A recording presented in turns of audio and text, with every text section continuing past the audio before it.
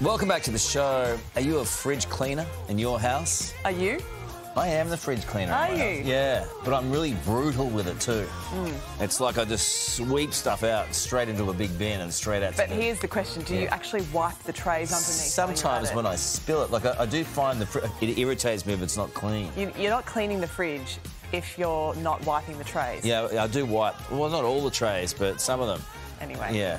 Either way, our next guests will have you Hard to covered. please, aren't they? Eh? Carly Sutty. Carly Sutty and Rachel Hallett are the brains behind Mums Who, and they've gone viral sharing their easy and effective tricks for cleaning and decluttering your home. And we're thrilled to say they join us live from Melbourne. Carly and Rachel, do you have anything to um, contribute to that conversation Yes. with Karl? yeah, for sure. Got some great tips. Good. So we'll start in the pantry, and these tips are, you know, anyone can use them and make them their own. So a great tip is to keep labels generic where possible. So don't um, buy the same cereals every week. So I've just labelled my canisters cereal. And then when we're moving over to, you know, other dry goods, use clear containers because then you can see what's in there immediately. Yeah. Label them so when they're empty, you know what to put in them. And, you know, it, it just helps so, so much. It really does. Does it help to put a date on them as well? Yeah, absolutely. You Yeah. can even just use a whiteboard marker on the bottom of your container Mm. to um, keep the date on there if it's something you're worried about. Absolutely. Okay. Okay, some other tips for keeping a clean kitchen?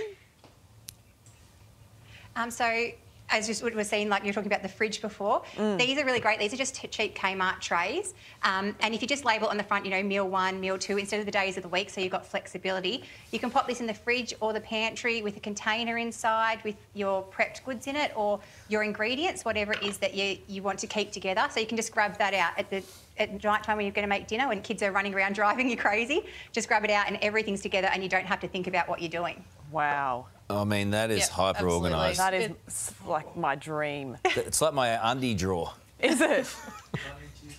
do you clean that one too, do you? Yeah, Carly's the fridge cl- queen, I think. Okay. Thank like you, my fridge ladies. organised. Thank you for acknowledging. Um, what about the laundry? Yeah, so uh, you know, moving over to the laundry, we've got some really great multi-purpose tools and ideas. So, you know, something is really good to have in your house is a cleaning schedule. So, you know, you don't have to stick to it all the time. Life gets busy, we know that.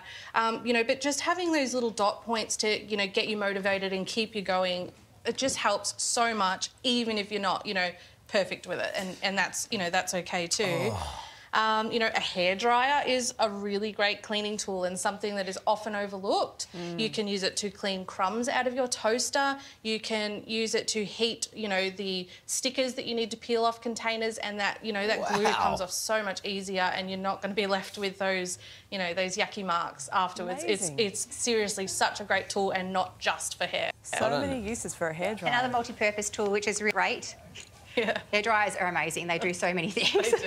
Um, another great multi-purpose tool is this little device. This is called a Strucket, um, and it's a bucket and a strainer in one. So it's really, really handy. Like you know, especially it- I know it's a Strucket. It's an awesome name. It's so cool. But um, you know, like if you need to, you've got kids and they've made a stain on something. Instead of having to have like a big bucket or your trough filled with water with you know the clothing in there, you can just pop it in here, and then it strains out, and you don't end up having you know to deal with it. Put your hands in that gross water. I really don't like touching that disgusting No. water. Um, and it also makes a great storage tool afterwards. Like, you know, you can keep your cloths in there, or Rachel likes to keep loose socks in there as well. So it can do multiple things and it saves space because it does extra jobs. Genius. Well, you you guys have thousands upon thousands of followers, and it's not hard to see why. For more, you can tune into Carly and Rachel's Home Hacks podcast.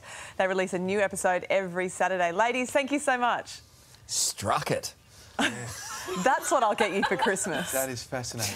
That's what you say when you drop something out of the Struck fridge. it. Oh, Struck it. Snap out of the Wednesday drawer and it's only Tuesday. Yeah. yeah. Struck oh, it. Struck it. There are two things that would destroy that in seconds. Yeah. One's name's Audrey and one name's Evie. Yeah. Struck it.